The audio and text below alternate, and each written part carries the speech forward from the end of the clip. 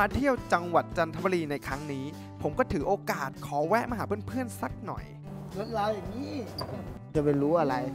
ใครเขาไม่มีใครขี่หรอกแต่ต้องเป็นท่อนะ จริงๆต้องเป็นท่อขังคาวขังคาว เปลี่ยนคนดีกว่า ฮะเปลี่ยนคนเยอะตาย ดูดูเหมือนชาวบ้านเขาที่ไหน สตาร์ทลงคลองไปเลย มันมาแหวกแนวคนเดียว ชอบอะ ไม่ได้หรอกผมชอบอยากเด่น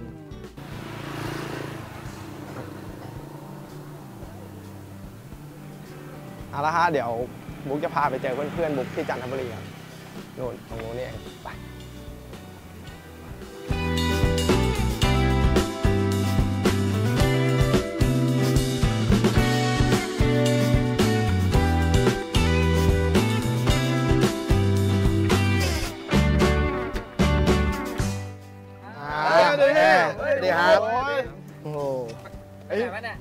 มาถ่ายรายการไงนั่นไงเออเดี๋ยวเรามาแจมหน่อยเฮ้ยจันเปลี่ยนไปเยอะเลยอะไม่ได้มานานเจริญแล้วเจริญแล้วแต่ก่อนมามกันดานอยู่เฮ้ยอะไรเฮ้ยเดี๋ยวนี้อะไรขับมอเตอร์ไซค์เนี่ยมันแก๊งเลยก็ชอบก็เลยขี่เล่นกันนิดหน่อยเฮ้ยได้ลุกได้ลุกอะเออไอ้บุ๊กเป็นไงวะไม่หัวนี่ตามสภาพพี่เหมือนเดิมได้แล้วปะไปไงมาไปไงมาไงเนี่ยไม่ก็มาถ่ายที่จันทร์ก็ต้องมาหาพวกพี่ดิต้องหาคนที่แบบช่ำชองเส้นทางหน่อยโอ้โหไม่ไม่บอกกันก่อนจะได้เอ้ยแต่จริงๆอะมีกะไปแล้วไปหลายที่แล้วแต่ จะหาเรื่องแบบเรื่องอาหารการกินนี่ยังไม่รู้าเซอไงร์พส์เลยเนี่ยมาเซอร์ไพรส์เนี่ยอ่าบอกก่อนนะไม่เฟี้ยวดิอยากไปเที่ยวไหนอยากหาเที่ยวที่ไหนแม่งเนี่ยวันนี้ถ่ายรายการทั้งวันเลยอะอยากรีแลกซ์อะมีที่ที่แนะนำอะมีเลยครับมีถามีคนนี้เลยครับต้องถามมีร้านพวกอยู่ครับฮะมีร้านพักพวกอยู่ครับร้านข้าวคั่วเหรอครับไม่เอาไม่เป็นไรเจ๋งข้าวคั่วจริงไปร้านครับมึงดิก็ร้านพักพวกผมอะจริงเหรอดูแลดีครับกับข้าวอร่อยเอาจริงเหรอผมดูแลอยู่ครับได้อยู่เป็นร้านล้างไห้องน้ำครับเป็นร้านไงอะก็จะเป็นร้านอาหารกึ่งเลสเตอรองนิดนึง มีดนตรีสดครับ มีโฟเฉกยซไมองเนี่ยเฉยไม่ไปนะ สาวเต็มพี่เฮ้ยจริงเหรอสาวไปสตาร์ท สาวน่ารักด้วย เอาไปไปเอ้ย อันนี้ผมซ้อนใครอะพี่ไม่เอาดีกว่าผมขอขับเองขี่ได้เอปะงเลย ขอคันหนึงอะนี่ไงอันนี้เรียกได้เลยเนี่ยเออนานขี่ๆเลน้อย งมาขอเลือกคันหนึงมาแล้วต้องร้องแล้วแหละซื้อให้ใหม่ด้วยนะถ้าเป็นไรอะ เลือกเลือกได้เลยคันไหนอะ ได้ครับได้อันนี้พี่ เดี๋ยวมาไม่ถึงจันทร์พี่โอ้ยพี่ไม่ได้ ไม่ได้ปล้นใครมาใช่ไหมเออโอเคขี่ได้เลย ไอ้ผมเอาสีม่วงกับแจมได้ แจ๊ดเลย ลองดูลองดูดี๋ยวจะเป็นไรปะเนี่ยอัเลืนอกนี้ใครสีนำม่วง ก็เดี๋ยวเดี๋ยวเกาะๆกันไปครับขี่ไปพร้อมๆกันนี่แหละในฐานะที่พวกเขาเป็นเจ้าถิ่นกันอยู่แล้ว ก็เลยขอให้เพื่อนผมเนี่ยพาขี่รถเล่น ดูบรรยากาศของตัวเมืองจันทร์ในยามค่ำคืน ความสนุกของคืนนี้กำลังเริ่มต้นขึ้นแล้ว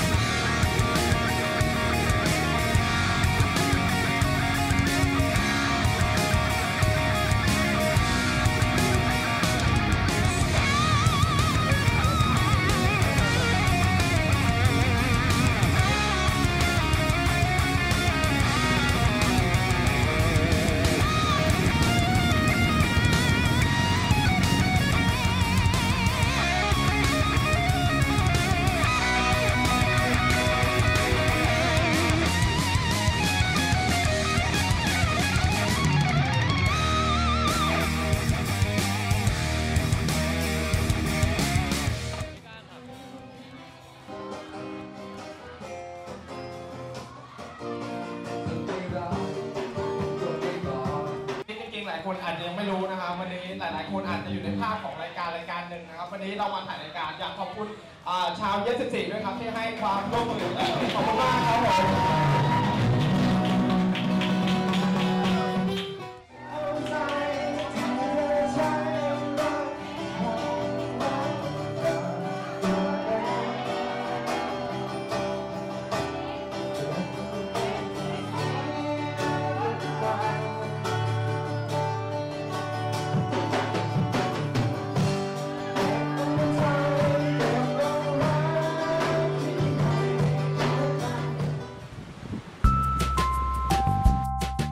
ตนปุระบีดรีสอร์ท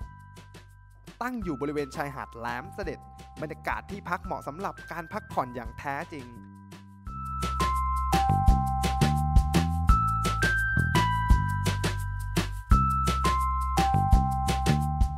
มีบ้านพักริมทะเลที่สามารถมองได้เห็นจากห้องนอน บรรยากาศที่นี่เน้นความสะอาด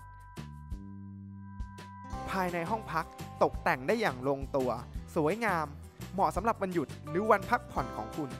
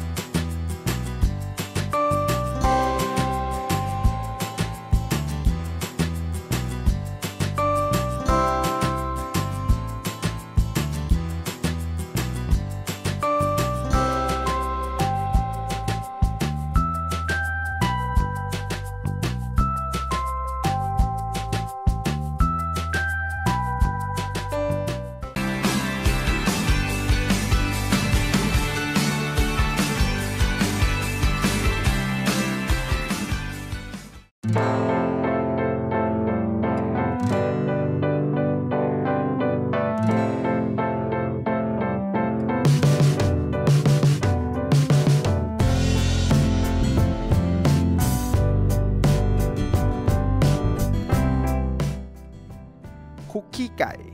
เป็นคุกโบราณ โดยเมื่อปีพศ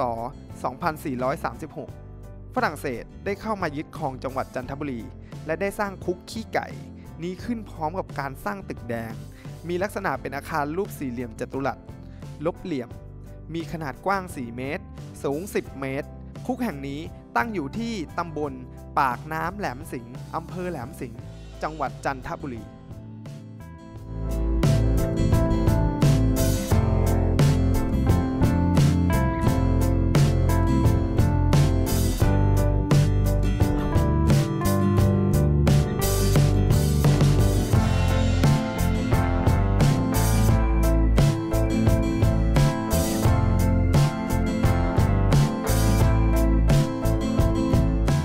แดง คืออีกหนึ่งสถานที่ท่องเที่ยวที่มีชื่อเสียงของจังหวัดจันทบุรี อยู่บริเวณท่าเรือแหลมสิงห์ใกล้กับคุกขี้ไก่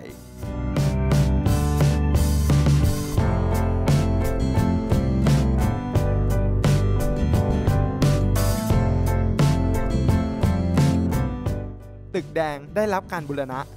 ในปัจจุบันเปิดให้นักท่องเที่ยวเข้าชม โดยไม่เก็บค่าธรรมเนียม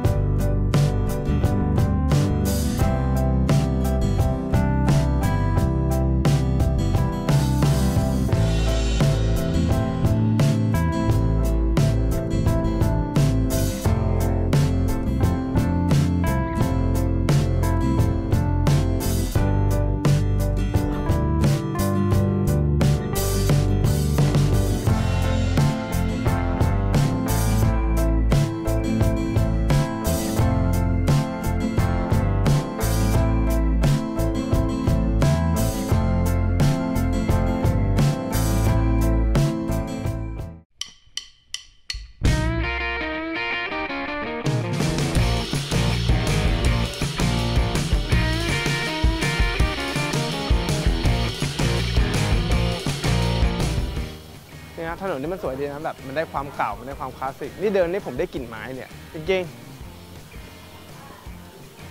บางทีถ้ามีบ้านแบบนี้อยู่ ผมว่ามันก็คงจะเป็นที่พักผ่อนผมอย่างดีเลยนะ เวลาเหนื่อยมา แล้วเราก็ไม่รีแลกซ์ที่นี่อะไรอย่างเงี้ยอยากบอกว่าจันทบุรีไม่ได้มีดีแค่ทะเลเท่านั้น อยากให้ลองมาดูวิถีชีวิตในตัวเมือง ชีวิตชุมชนเก่าแก่ริมแม่น้ำจันทบูรณ์แล้วคุณจะได้เห็นความมีเสน่ห์อีกด้านหนึ่งของจังหวัดจันทบุรี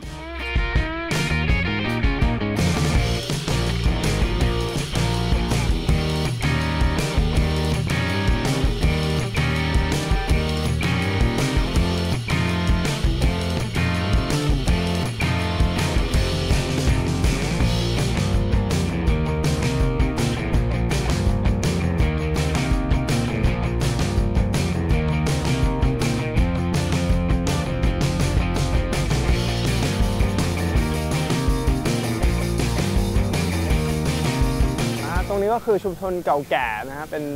ชุมชนบ้านริมน้ำของจันทบุรีเขาไอ้ที่เห็นไกลๆนั่นก็คือโบสถ์ชื่อดังของเขานั่นแหละหลายๆ MV หรือหลายๆงานเนี่ยคงเห็นกันแล้วในโบสถ์ว่ามันสวยยังไงคุณนี่ฝั่งนี้โบสถ์คิดฝั่งนี้คือศาลจีนๆฮะเออก็แปลกดีนะมาตั้งตรงข้ามกันเลยแต่ว่าเมืองจันทร์เนี่ยผมว่านะความสิ่งที่เห็นเลยผมว่า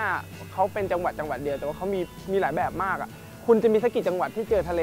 เจอภูเขาเจอเนี่ยแม่น้ำลำคลองบ้านริมน้ำก็มี คือที่อื่นเขาจะมีเป็นหลักๆราชบุรีก็จะมีแค่บ้านตลาดน้ำใช่ไหมที่นี่มีหมดมีทั้งริมน้ำทั้งทะเลทั้งภูเขาผมว่ามาทีเดียวจบ แล้วก็อย่างมันอย่างมันของผมที่ผมพูดก็คือแบบอย่างวัยรุ่นมาเที่ยว ผมไม่ได้แบบนำเสนอ ให้คุณเที่ยวในแบบแบบที่คนอื่นเขาเที่ยวกันแต่คือแบบบางทีอะความบันเทิงมันก็มีครับที่จันไม่ใช่ว่าแบบธรรมชาติอย่างเดียว แล้วถ้าคุณเลือกจะไปล้วกัน เพราะที่นี่มีเลือกทุกอย่างเลยครับผม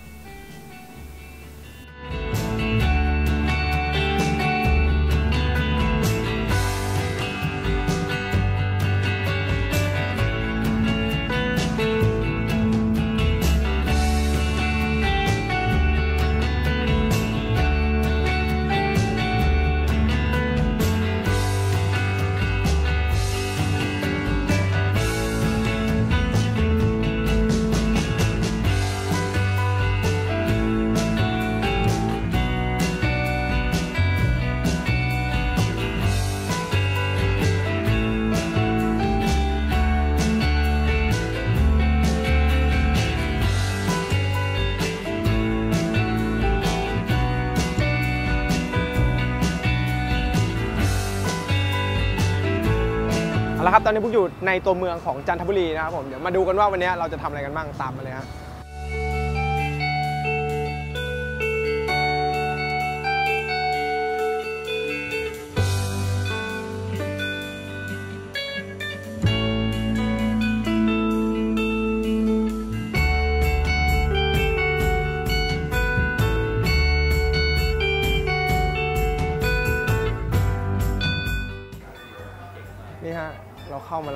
เลยว่า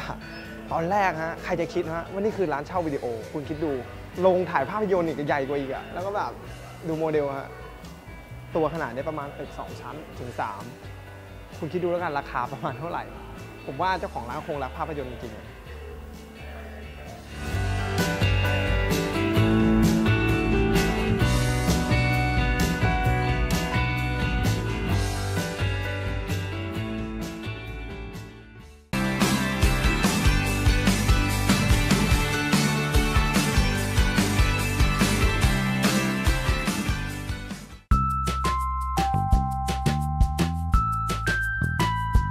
อนนี้ผมมีเวลาเหลืออยู่พอสมควร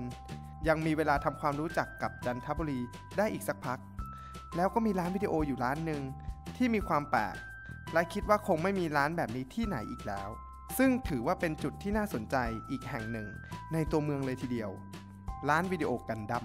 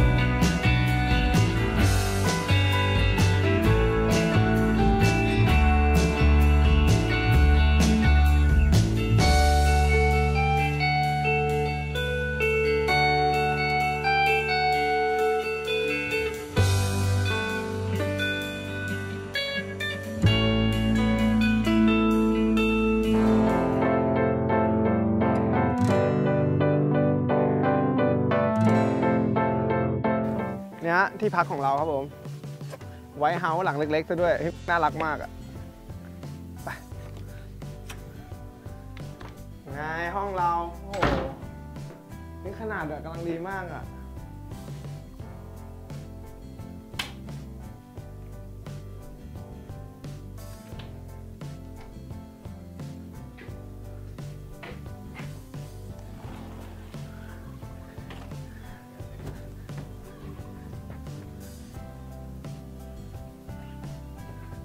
นี่ฮะที่พักขนาดกำลังดีไม่ต้องใหญ่เกินไปเจ๋วเลย ไม่รู้เป็นเหมือนกันไหมนะแต่ผมไม่ชอบพักที่เล็กๆ มันชินแล้วอะ่ะ เพราะว่าเราก็อยู่ห้องเล็กๆ เหมือนกันตอนที่พักจริง ๆ ของเรา ผมรู้สึกว่าอะไรที่มันกว้างไปมันทำให้ดูเหงาอะถ้าอยู่คนเดียว นอนดีกว่าปะ